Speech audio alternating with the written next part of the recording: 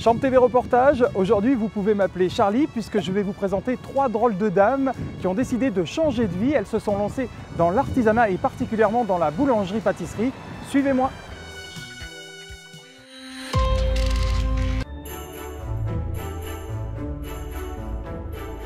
Je m'appelle Emmanuelle, je suis la gérante de la boulangerie M de Luton.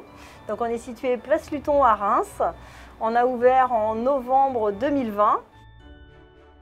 C'est parti d'une histoire de fille. Donc on a un slogan qui est l'artisanat au féminin. Le but était aussi de, montrer qu'il n'y a pas que les garçons qui peuvent faire de la boulangerie-pâtisserie, ça peut aussi être une histoire de fille. Je m'appelle Romane, je suis boulangère, j'ai 26 ans. J'ai toujours voulu faire ça depuis que je suis petite et je me rappelle que je disais à mes parents je vais être boulangère et pas femme de boulanger.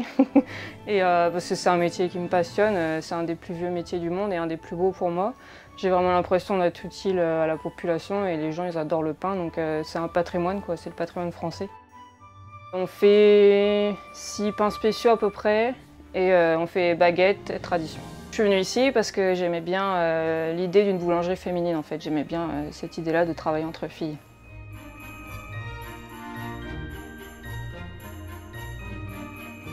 Je m'appelle Virginie, je suis pâtissière à la boulangerie M de Luton. Je suis arrivée dans la pâtisserie un petit peu par hasard. J'ai fait des études d'abord, j'ai même fait un bac général, un DUT de commerce. Et je me suis dit pourquoi pas la pâtisserie, c'était un petit peu un hasard. Euh, j'ai fait un stage et puis je suis restée et je suis allée jusqu'au BTM. On a créé un petit gâteau qui s'appelle le Paris-Reims. C'est une pâte à choux, sauf qu'il y a un petit craquelin rose pour le côté euh, rose du biscuit rose.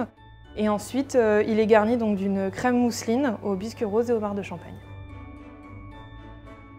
C'est une belle histoire que cette nouvelle boulangerie M de Luton avec ces trois drôles de dames. À votre tour de venir goûter leurs produits et en particulier cette pâtisserie, le Paris-Reims.